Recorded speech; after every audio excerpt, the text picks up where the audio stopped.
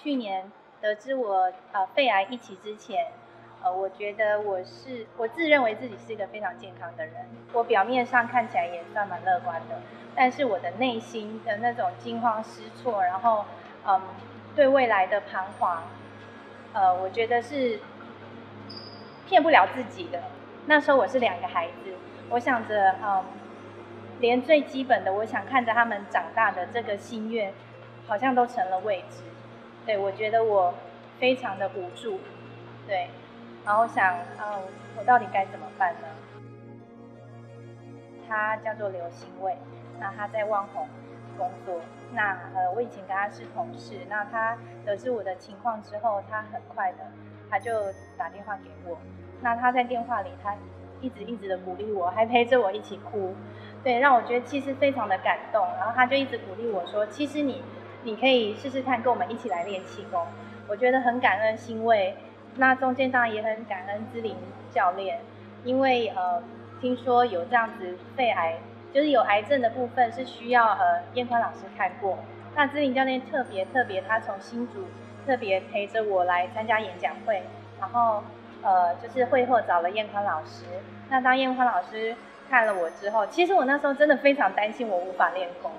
我同事还告诉我说，如果老师真的不让你练，我要去跟他跪。其实我听到这个，我我真的觉得我非常的感动。对，然后那时候燕宽老师跟我说，呃呃，就是好，可以，你可以来练功，你要加油练功，好好改善自己的身体。那我觉得，其实老师，其实我当下真的是很感恩，因为我觉得。我原来担心自己的连练功的机会都没有，然后我觉得我看到我重回健康的一线曙光。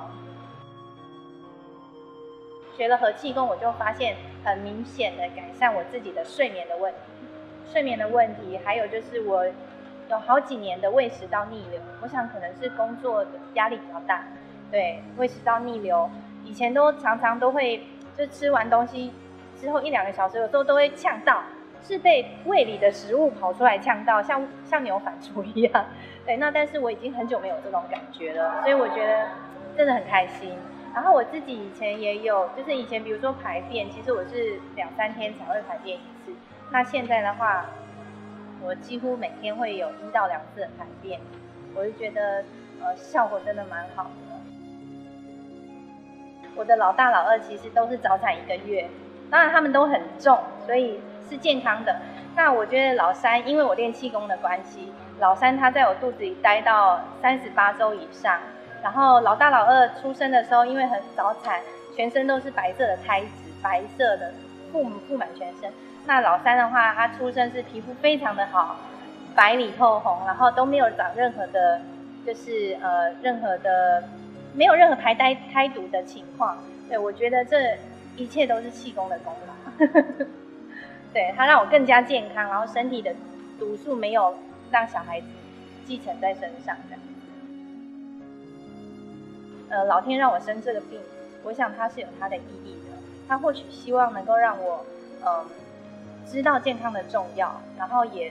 能够分享给周遭的亲朋好友。因为我觉得我我其实是非常希望，因为我自己的经验，再加上周遭的一些亲朋好友、同事们的经验，我其实是。认为在这个充满毒的时代的这个世界，不管呼吸也是毒，吃东西呀，各方面甚至压力都是毒。我觉得应该要人人练气功，对，应该每个人都要能够知道让自己能够自主健康的方法，对，对，能够每天花个十几分钟、二十分钟来让自己更加的健康，这样子的话，每一个人才能够拥有他很幸福美满的家庭跟人生。希望可以看着他们呃平安的长大，然后看着他们出嫁，然后看到我的孙子孙女，